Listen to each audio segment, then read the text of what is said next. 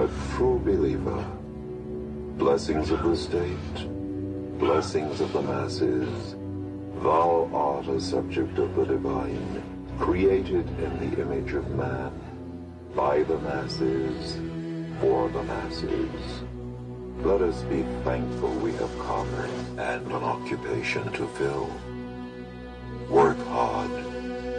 Buy more. Increase production. Now.